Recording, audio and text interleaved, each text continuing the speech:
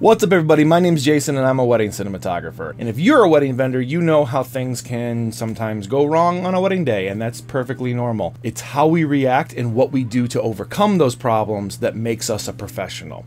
Now, you probably have an emergency kit with you at all times at every wedding. I've been doing weddings so long that my kit is pretty large but it's large because I have run into each of these problems a multiple times so I'm gonna go through what I keep in my emergency kit that I have on me all the time at every wedding. The first thing we're gonna start off with is mints. Yes, your breath should be amazing, but you should be able to hand these out to the entire wedding party or parents or anyone who wants some for that matter.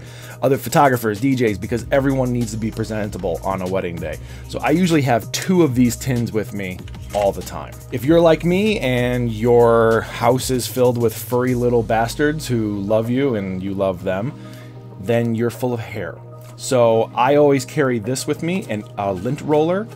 And no matter how good I think I look when I leave the house that day, I always have cat fur on me.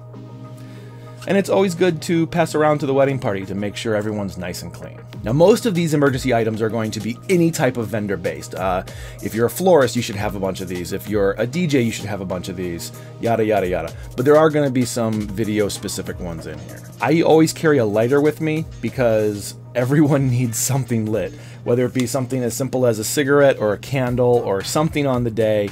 Uh, everyone needs a lighter, and it's always the last thing anyone carries with them. And I always carry the long ones because of those long tubes in centerpieces and walking down the aisles. I also always carry bug spray with me, and I don't really care what brand as long as it works and as long as it smells nice. There's nothing worse than handing this out to the wedding party and everyone stinking like medicine for the rest of the day. So speaking of bug spray, which I'll explain in a second, this is a big shout out to my friend and fellow vendor. He's a photographer, Jeff West from Unpost Photography in Galena introduced me to Absorbine Plus.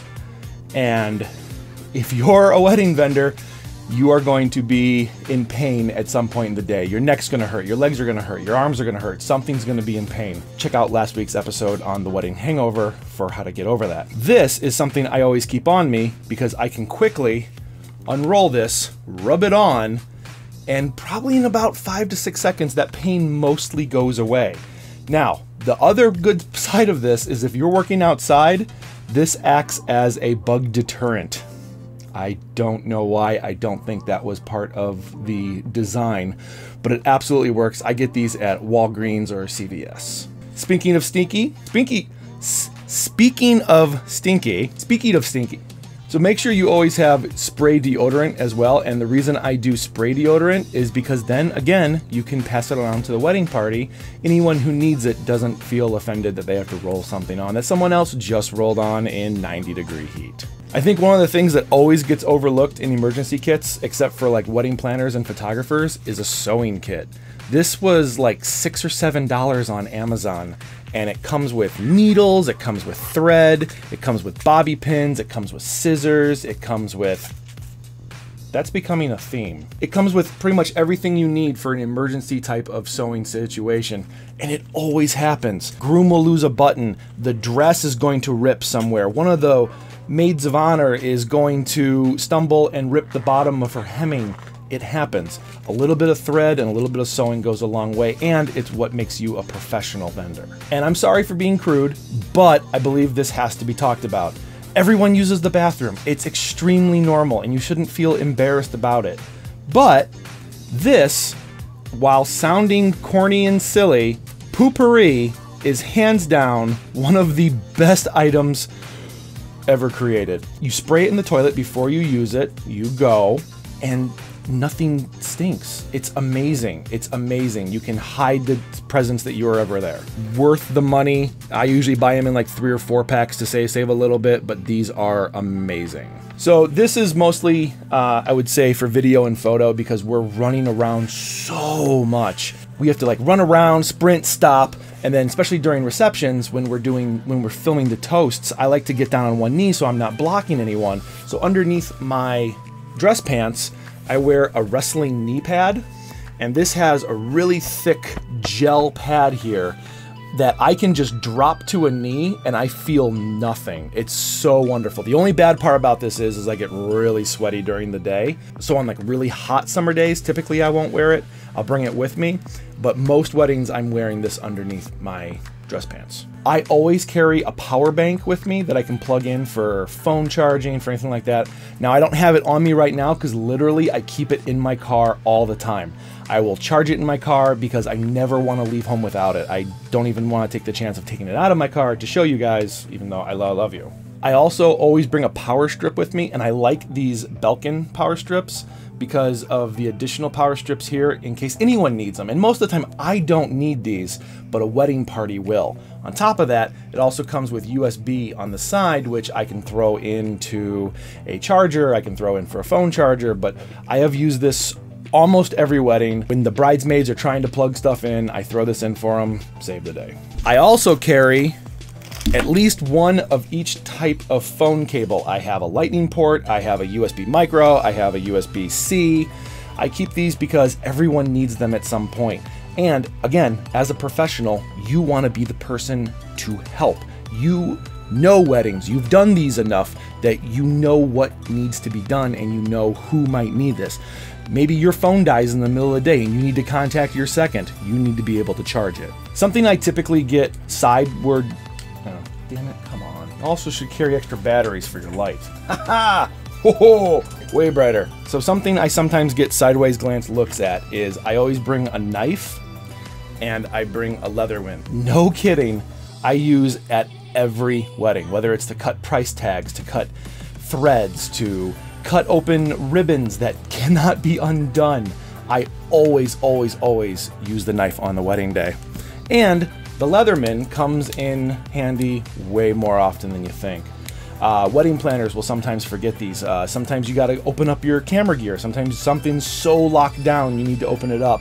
But it also comes with scissors in here, which every wedding party needs at some point in the day. You should always be eating at a wedding day. And you should always be telling your couples that they need to eat because there is nothing more less fun.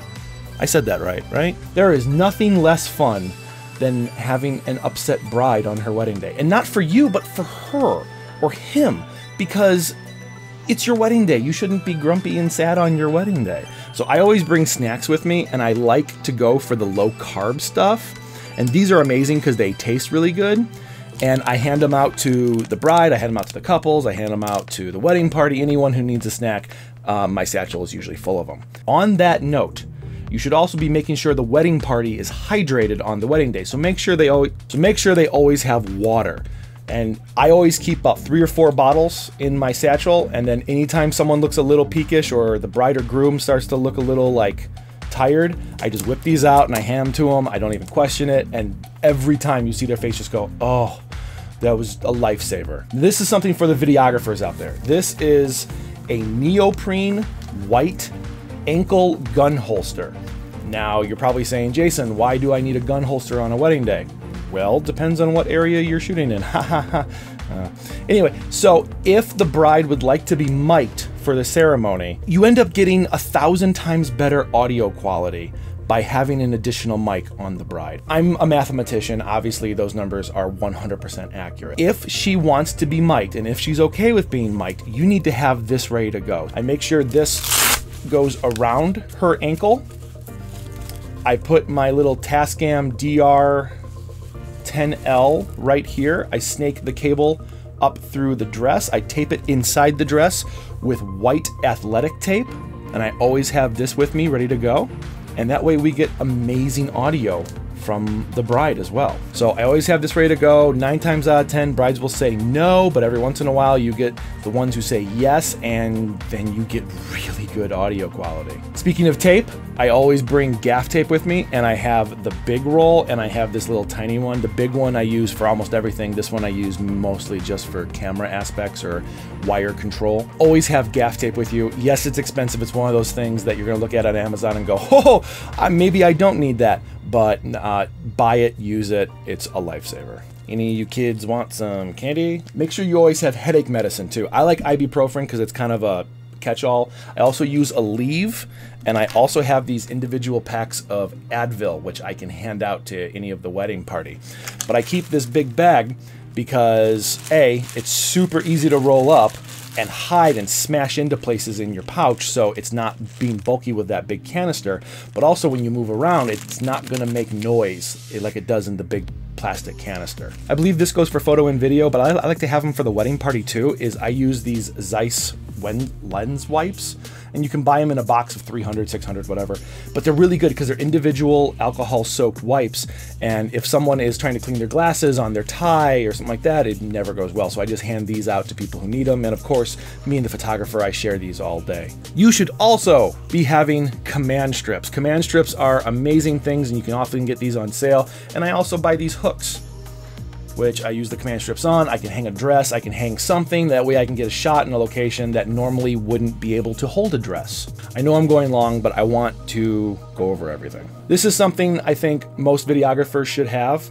It is a clamp and you can tighten this around your camera gear. You can tighten this around a DJ mic stand.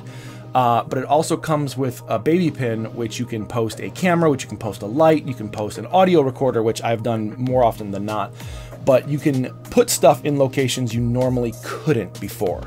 This is invaluable, and these are like 25 bucks on Amazon. Worth it. I also carry Imodium with me because there's nothing worse than being out doing your creative session 20 minutes from anywhere, and all of a sudden, you gotta go use the Poo-Pourri. This thing that I showed you earlier. Imodium is fantastic for this, and I also hand it out to the wedding party who's maybe feeling not so good. This makes them feel a lot more at ease. I also bring eye drops with me and I bring really good gel eye drops because that way you're not like using a ton of it at any time and getting in the makeup and screwing things up. These feel really good and you only need a tiny little bit uh, to make your eyes refreshed. And I use them for myself because I'm staring at the back of a camera all day, I'm staring at a screen, but I'll also pass them out to the wedding party who maybe it's a little dry outside, maybe they're not feeling good. These tend to like rejuvenate anyone who's been outside while. Camera 101, you should have a air pump, uh, air spray. Do not use compressed air because compressed air has the ability to shoot the dust so hard off your lens that it can actually scratch it. So a little bit of an air pump on your lens, inside your mirror, inside your camera will clean things up very good. Speaking of cleaning, I also bring hand sanitizer with me. And again, this is a smaller version of hand sanitizer. It just comes in a little spray like that.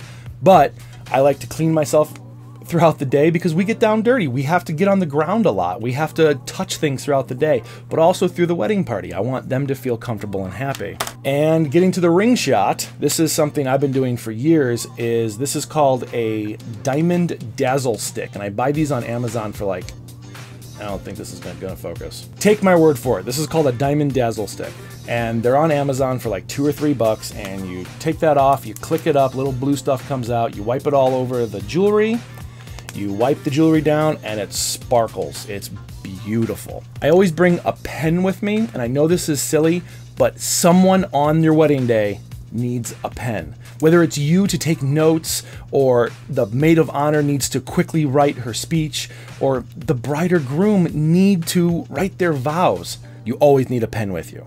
And typically I bring two or three because one always dies. Speaking of lenses, I also bring a lens brush. Yes, you can use your lens wipe to wipe off your lens and you can blow off the schmutz, but it never hurts to have a brush just to get into the fine details and clean it all up. This is something for anyone who works receptions. I wish I was getting uh, funded by these guys because I wholeheartedly believe in their product and I use them at every wedding. These are dubs.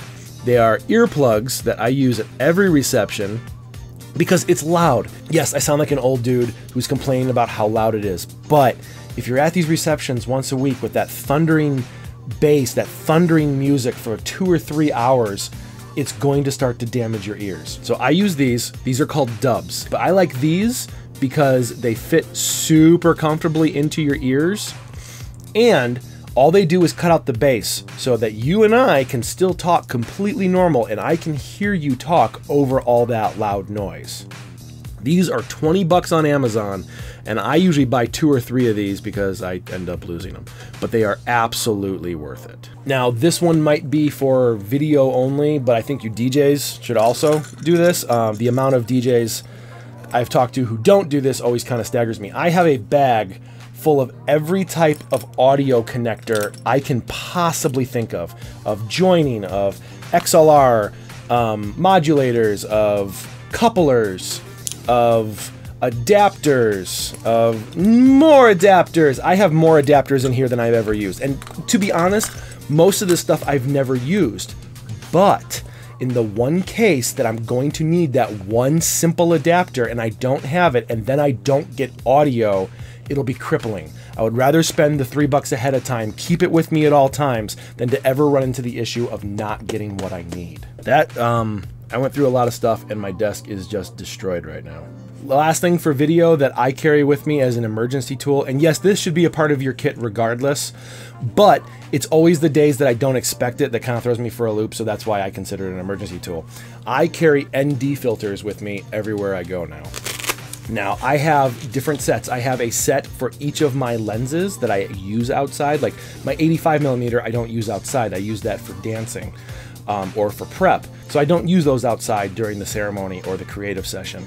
So I buy a set of ND filters for every lens that I use outside. My 70 to 200, my 16 to 35, my 50, my 35, my 24 to 70, my 16 to 70. Each of those have their own set of ND filters, but these are my more specific and weirder ones. So for instance, I have, and I don't know the term for this, please don't hate me, but it's, it's a dialing ND filter if I don't know what the sun's going to be like or if it changes a lot, I can quickly throw this on one of my longer lenses and I can just go to town. This is a, I don't know if you, you can see it, but it's like a half ND filter. So the bottom is clear, but the top has the ND on it. And I use that for my 16 to 35 because that way I get like nice clean bottom and then the top's nice and clean instead of having like a blown out sky. Uh, I have other stuff in here as well that I'm not going to go through.